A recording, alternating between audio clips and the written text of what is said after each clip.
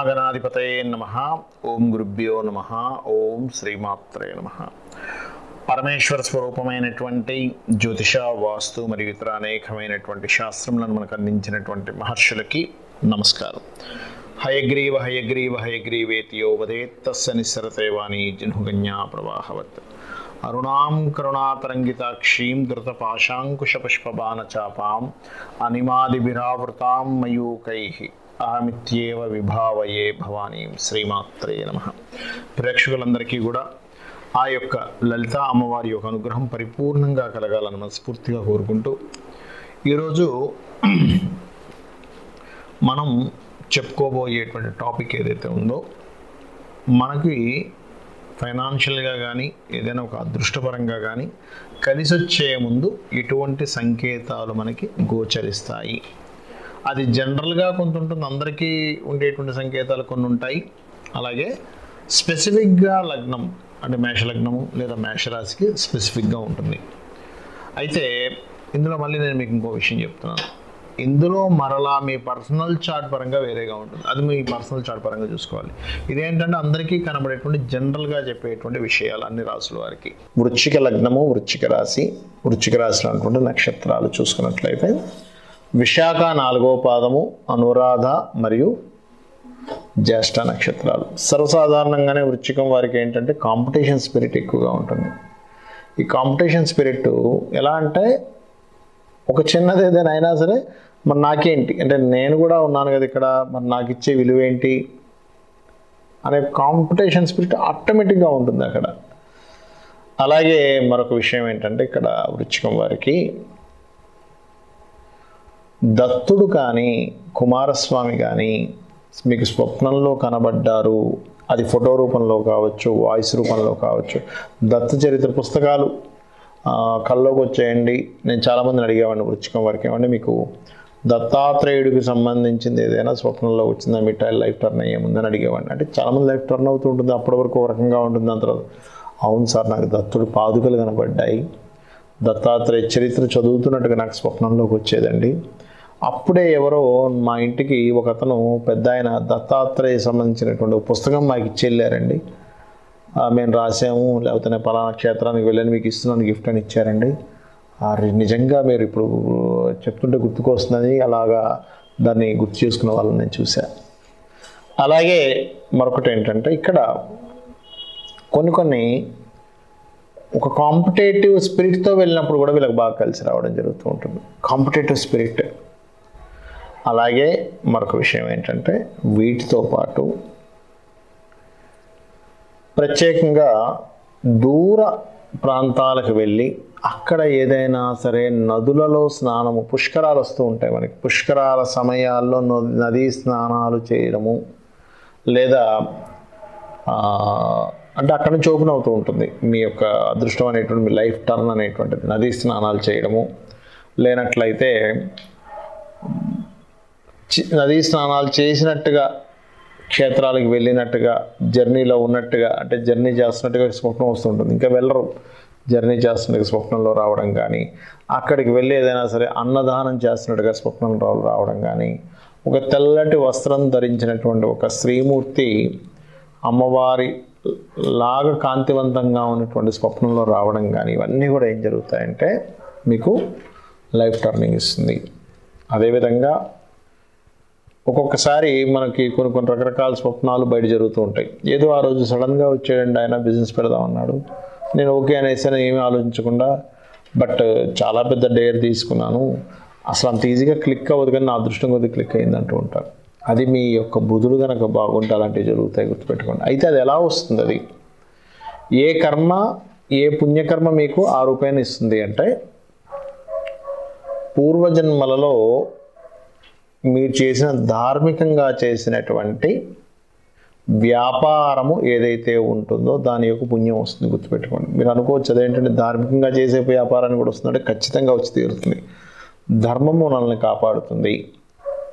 కాబట్టి పూర్వజన్మల్లో నాసిరకమైనటువంటివి ఏదైనా తయారు చేసి అమ్మాడు అది ఖచ్చితంగా పాపరూపేణ వస్తుంది.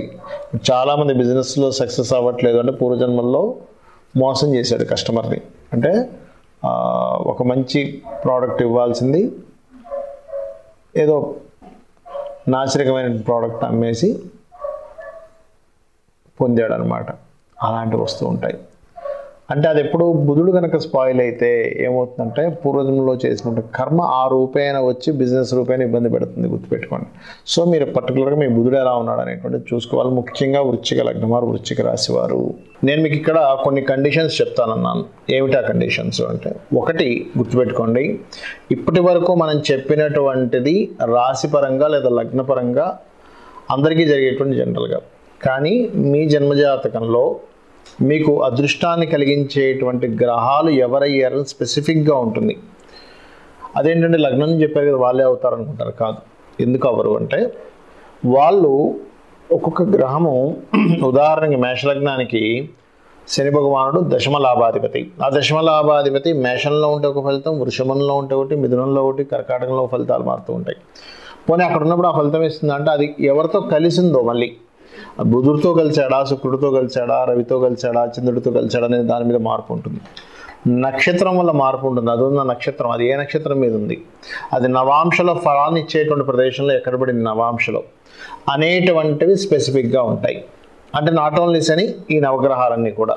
అందుకని ఇప్పటివరకు మనం చెప్పుకున్నవి ఒక ఎత్తు. మీ పర్సనల్ చార్ట్ని బట్టి చూసుకోవాల్సింది ఒకటి ఉంటుంది. ఇక రెండవది ఏంటంటే జనరల్గా ఇప్పుడు రాశి నక్షత్రము లేకపోతే లగ్నము వీటితో అసలు సంబంధం లేకుండా జరిగేటువంటి సంఘటనలు ఏమిటి సంకేతాలు ఏమిటి అంటే ఒకటే గుర్తుపెట్టుకోండి.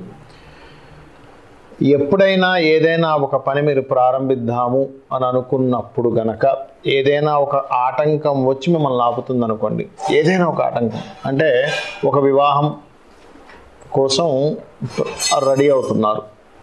రెడీ అవుతున్నప్పుడు ఏదైనా ఒక చెడు వార్త వచ్చింది. దాని గురించి మీరు ఆలోచించవలసిన సందర్భం ఉంది. వివాహం అనే కాదు. ఎనీథింగ్ ఒక బిజినెస్ పెట్టబోతున్నారు. లేకపోతే ఒక ఒక ప్లానింగ్గా ఒక ముందుకు వెళ్తున్నారు. సో దానికి మీరు పర్టికులర్గా ఇది ఎలా చేయాలి ఏం చేయాలి ఏమిటి అనేటువంటిది ఒక ఆలోచనలో కొంచెం ముందుకు ఒక్కసారి ఆలోచించాల్సిన పరిస్థితి. ఏదైనా ఒక సంకేతం వస్తాయి. దాన్నే మనకి శాస్త్రాల్లో నిమిత్తం అన్నారు ఎదురు రావడం అన్నారు ఇలాంటివన్నీ చెప్పారు. అంటే ఏమిటి? ప్రకృతి చెప్పేటువంటి ఇదంతా ఏమిటి అంటే ప్రకృతి మనకు అందించేటువంటి ప్రకృతి అంటే ఎవరు? అమ్మవారు. అమ్మవారికి ఉన్నటువంటి లాంగ్వేజ్లో మనకు చెప్తుంది నాన్న నువ్వు ఇది చేసుకో ఇలా ఉండు. ఎందుకంటే అదేంటండి? అలా చెప్తుందా అంటే ఖచ్చితంగా చెప్తుంది. మనకి చూడండి కొంతమందికి స్వప్నంలో భగవత్ సంబంధించింది సౌండ్ వినబడో చెప్పు. నీకు పలానా దగ్గర విగ్రహాలు ఉన్నాయి తవ్వండి తీసి గుడి కట్టండి అని చెప్తున్నారుగా మరి అమ్మవారు మరి. మరి అది చెప్తున్నప్పుడు మన పర్సనల్ రిలేటెడ్ సంబంధించినవి కూడా ఈ సంకేత రూపంలో చెప్పడం జరుగుతూ ఉంటుంది అనే విషయాన్ని మనం అర్థం చేసుకోవాలి. మరి మీకు సందేహం కలగొచ్చేవండి. మరి ఇట్లా ఏదైనా వివాహం కావచ్చు వ్యాపార సంబంధించిన విషయాలు కావచ్చు ఏదైనా ప్రారంభిస్తున్నప్పుడు అవి ఏదో కారణం చేత ఆగుతున్నాయంటే అక్కడ ఏదో నష్టం ఉంది అనేటువంటి ఒక సంకేతం అని మీరు చెప్తున్నారు. మరి దాని ఎలాగా క్లియర్ చేసుకోవాలి అంటే అలాంటి సమయాల్లో మనకు శాస్త్రాల్లో చెప్పినటువంటిది ఏమిటంటే రామాయణం కానీ మహాభారతం కానీ లేదా గజేంద్ర మోక్ష సంబంధించిన ఘట్టాన్ని కానీ మీరు చదువుకున్నట్లయితే చదువుకున్నా విన్నా ఏమవుతుందంటే మీకు రావాల్సినటువంటి ఆపద ఏదైతే ఉందో ఒక ప్లానింగ్ అనుకుంటాం మనం నేను పలానా బిజినెస్ పెట్టేసా లేకపోతే నేను పలానా కోర్స్ తీసుకోవాలి లేకపోతే పలానా విషయంలో ముందుకు వెళ్ళాలి అని ఎవరితోనైనా కలిసి ముందుకు వెళ్ళాలి.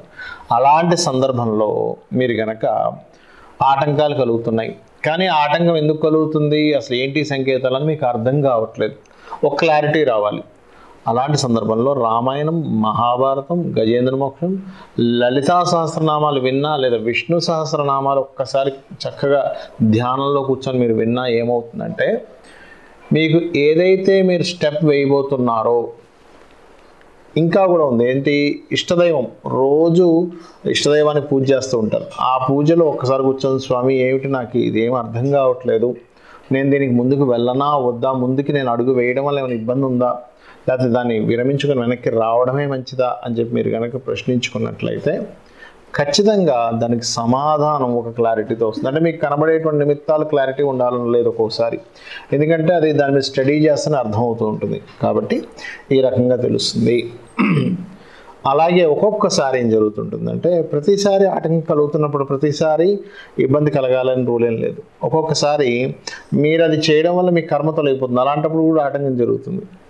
అలాంటప్పుడు కూడా మీరు కనుక ఒక్కసారి లలిత చదువుకొని ప్రారంభించినట్లయితే మీ ప్రారంభ కర్మ ఆపుతూ ఉంటుంది.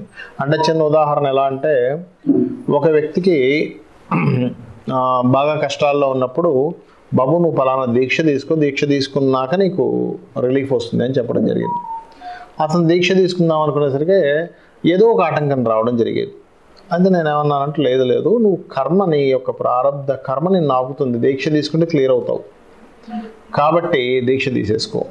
అంటే ఇక్కడ నాకు అర్థమైన విషయం ఏంటంటే మనం ఏదైనా గ్రహ సంబంధించిన దేవతా సంబంధించినటువంటి చేసుకుంటే క్లియర్ అవుతుంది అని అన్నప్పుడు ఆటంకాలు వస్తూ ఉంటాయి.